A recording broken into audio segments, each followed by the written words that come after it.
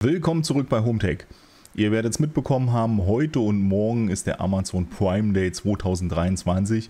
Ich habe mich heute Nacht schon mal ein bisschen und auch noch heute im frühen Morgenstunden mal ein bisschen durchgeklickt, ob was Brauchbares dabei ist. Und ein paar coole Sachen habe ich gefunden. Gucken wir uns an.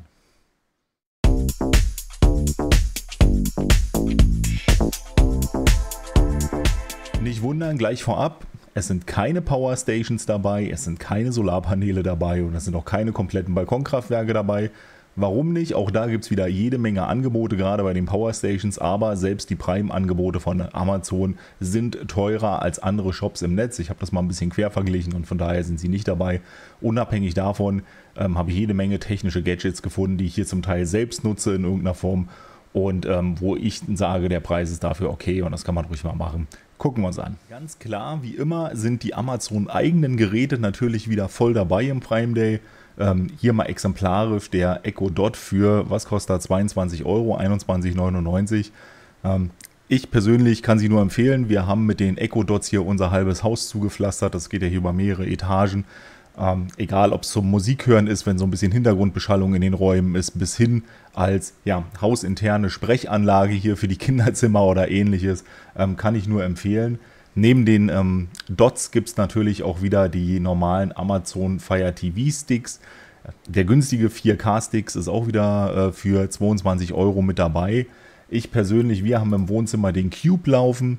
Ähm, der kostet zwar ein gutes Stück mehr, der kostet über 100 Euro. Für mich der Riesenvorteil an dem Cube ist, die Performance ist einfach mal gefühlt zehnmal besser als von so einem Amazon-Stick.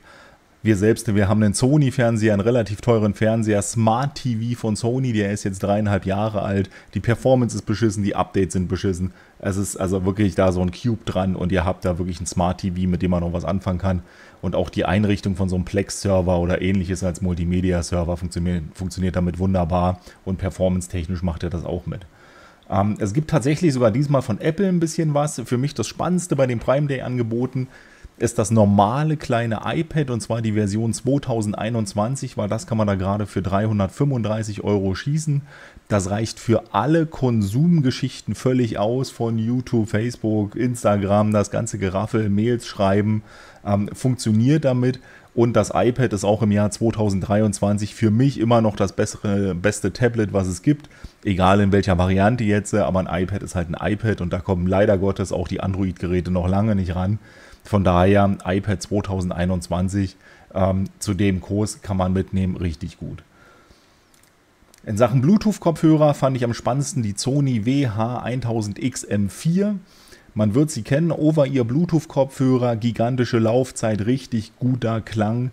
Ähm, alles dabei und das Noise Cancelling ist wie von einem anderen Stern. Ich selbst nutze Stand heute die äh, XM5, hatte davor die XM3. Gibt es auch ein kleines Vergleichsvideo hier auf dem Kanal, wer es noch nicht gesehen hat und die äh, XM4 für gute 200 Euro oder was sind es, 209 Euro.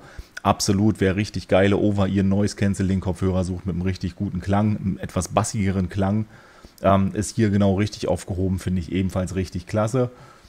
Ähm, es ist gerade sehr warm und somit ähm, muss ich auch feststellen, dass in Sachen Kompressorkühlboxen, die sind gerade so ein bisschen im freien Fall. Zu Corona, als keiner in den Urlaub konnte, war irgendwie die Campingzeit ganz hoch und Campingartikel wie auch Kompressorkühlboxen waren unfassbar teuer und wurden immer teurer. Mittlerweile ähm, droppen da ganz gut die Preise. Ich selbst habe hier eine bei mir im Büro stehen, eine 50-Liter-Version. Das ist hier so mein Bürokühlschrank. Ich blende euch mal zu Kram, den ich auch benutze, vielleicht mal ab und zu mal ein Bild ein. Ähm, und insofern 200 42 Euro für eine 48 Liter äh, Kompressor-Kühlbox ist, ist schon ganz cool, egal ob Urlaub oder Bürokühlschrank. Brauchen wenig Strom in dem Sinne, laufen mit 12 Volt, laufen mit 230 Volt, kann ich echt nur empfehlen. Was ich noch spannend fand, war von DJI die Mini 3 Pro Drohne inklusive ähm, dem äh, Smart Controller. Der Smart Controller ist im Endeffekt der DJI Controller mit integrierten kleinen Tablet, ja, das ist oder Smartphone-Display auf Android-Basis, extrem hell über 1000 Nits. Das heißt, man kann damit ähm, die Ablesbarkeit auch in der prallen Sonne ist damit komplett gegeben. Ich persönlich benutze von DJI die R2S, bin damit auch top zufrieden, nutze die bei mir auch gewerblich hier im Einsatz. Ähm, super Produkte. Ich fliege seit Jahren verschiedenste DJI-Drohnen. Die Mini 3 Pro finde ich persönlich wirklich sexy, aber da meine R2S noch einwandfrei funktioniert und die war ja auch nicht so ganz günstig, ähm, Ja, aber wenn ich mir Stand heute eine coole kleine Foto- oder Filmdrohne kaufen müsste, 4K 60 Bilder die Sekunde, alles dabei, ähm, DJI Mini 3 Pro, hier auch zu einem super Kurs, 839 Euro inklusive dem Pro-Controller, finde ich richtig, richtig gut. Ihr werdet es mitbekommen haben, es ist momentan extrem heiß, zumindest teilweise. Heute wird wieder so ein Tag. Auch bei mir hier, man sieht es, Dachgeschoss, auch bei mir läuft hier so ein kleiner mobiler Klimablock mit äh, einer Kühlleistung von 12.000 BTU. Das ist so für Räume, so für roundabout bis 40 Quadratmeter. Ähm, ja, die Einschlauchgeräte, sie sind nicht die effizientesten wie äh, Splitgeräte oder ähnliches, aber jeder, der zur Miete wohnt, oder es ist auch nicht überall machbar, überall ein vernünftiges Splitgerät hinzuhängen. Bei mir läuft so ein Block hier, Bild blende ich euch mal ein. Und ich bin damit zufrieden, das Ganze kühlt hier runter und wenn man ein Balkonkraftwerk am Laufen hat, dann ist der Stromverbrauch auch schon wieder im Rahmen und ähm, wenn man sich da nicht so totschwitzen will, für mich einwandfrei. Hier habe ich noch gefunden den Anker USB-C-Ladegerät mit 65 Watt. Das ist übrigens etwas, das benutze ich selber hier. Ähm, ich habe den allerdings nicht für günstige 39 Euro gekauft, sondern ich habe tatsächlich irgendwie die 50 oder 53 Euro bezahlt.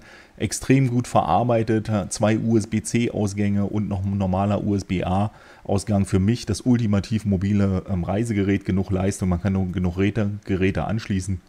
Verarbeitung wie immer top bei Enker, ja, generell Enker-Produkte. Ich habe hier einen ganzen, ganzen Sack voll davon. Ähm, Finde ich wirklich gut. Auch das gibt es momentan im Angebot für 39 Euro. Ähm, auf alle Fälle, für mich ist es das wert, ja. Wir ähm, springen mal direkt weiter, komplett andere Kategorie. Gefunden habe ich noch das Logitech G29 Lenkrad. Das ist so für die Gamer so ein bisschen unter uns. Ähm, kann man überall nutzen. Force Feedback Motoren sind richtig gut. Ich habe es nicht selber. Ich habe einen Kumpel, der benutzt das. Ähm, ich habe es auch schon benutzt. Cooles Lenkrad. War extrem teuer die ganze Zeit oder es droppt jetzt langsam immer mehr im Preis und mittlerweile gibt es das für knapp 220 Euro und ihr könnt es wirklich überall benutzen, egal ob PlayStation 4, 5, PC, Mac, es funktioniert überall. Geiles Lenkrad kann man mitnehmen. So, die beschriebene AC200 Max, ihr seht, ich habe schon geteasert, die kostet hier trotz Prime 1500 Euro. Ich schließe den Tab, ich kann es nicht empfehlen, die gibt es in anderen Shops günstiger. Was ich ganz cool fand, wer auf der Suche nach einem richtig großen ähm, Bluetooth-Lautsprecher ist, der Soundbox Gen 3, das ist wirklich der große brachiale Bluetooth-Lautsprecher, das ist so Niveau Teufel Rockstar und gibt es hier im Angebot für 800 Euro. Ähm, also wenn ihr eure Nachbarn, eure Straße, euren, euer halbes Viertel mal wirklich ärgern wollt, das ist ein riesen Bluetooth-Lautsprecher, der macht richtig Wumms und hat richtig Power. Kostet in der Regel 1000 Euro, da liegt ja in der Regel auch. Und wie gesagt, 800 Euro kann man machen. Für mich ganz persönlich, ich persönlich bin großer Gin-Fan. Hier hinten, ich glaube, man sieht es gar nicht, hier ist auf der Kamera. Ich blende euch noch ein Bild mal ein hier. Ähm, trinke sehr gerne Gin. Auch diverse Gins sind wieder bei Amazon im Angebot.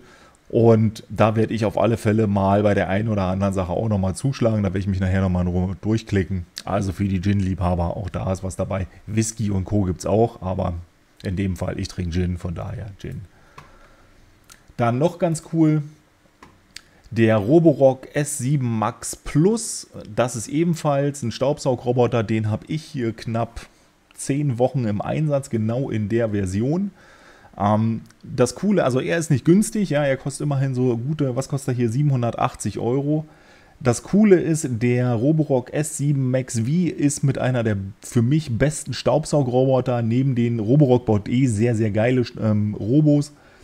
Und neben den normalen Saugen, Wischen, Kartierung etc. pp. hat der hier noch eine Kamera eingebaut, der mittels Kameraerkennung RGB, also mit einer Farbkamera im Endeffekt auch noch erkennt, wenn Sachen auf dem Boden liegen. Und zusammen mit dieser Absaugstation, die keine Beutel oder ähnliches hat, ist das ein echt, echt rundes Paket. Ja? Also wir haben ja auch Kids rumliegen, jede Menge Spielzeug, was rumliegt. Und das ist der einzige Staubsaugroboter, wo ich wirklich sagen kann, von 49 von 50 Fahrten findet der auch wieder zurück an die Ladestation und verheddert sich nicht in Kabel, frisst keine Socken, der erkennt das. Mega Gerät, ich, ich feiere den persönlich total. Vielleicht äh, mache ich auf dem Kanal mal ein längeres Review darüber. Ähm, steht bei uns unten im Erdgeschoss, Bild blende ich euch ein. Ich feiere den absolut. Ja. Also für mich der Staubsaugroboter und in meinen Augen auch besser als der ähm, S8, den es mittlerweile gibt, aufgrund des Kameramoduls vorne. Finde ich gut.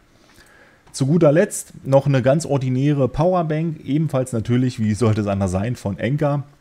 Ähm, und zwar die Enker 325 mit 20.000 mAh benutze ich ebenfalls privat. Ähm, Habe ich auch gekauft für mehr Geld als hier, als sie rauskam. Das Schöne ist, ich kann sie doppelt beladen und zwar mit USB-C und mit äh, Micro, Micro-USB. Und zwar, ähm, ja, ich kann zwei Ladegeräte gleichzeitig anschließen und damit kann ich die extrem schnell wieder vollladen. Und feiere ich total ähm, als normale Powerbank. 20.000 mAh ist auch groß genug. Finde ich ebenfalls cool. Das waren mal so ein paar spannende Dinge, die ich so heute gefunden habe, so spontan mal beim Durchscrollen. Vielleicht ist für den einen oder anderen was dabei. Wenn nicht, ist auch nicht so wild. Klickt euch mal so durch die Kategorien, vielleicht findet da was. Ähm, morgen ist ja auch noch Prime Day. In der Regel switchen die ja dann äh, pünktlich um Mitternacht auch nochmal diverse Angebote. Da gucke ich auch nochmal rein und wenn ich genug zusammenkriege, gibt es morgen nochmal ein kurzes Nachfolgevideo. Ja, kurz und bündig. Ich bedanke mich fürs Zusehen. Wir sehen uns im nächsten Video. Ciao.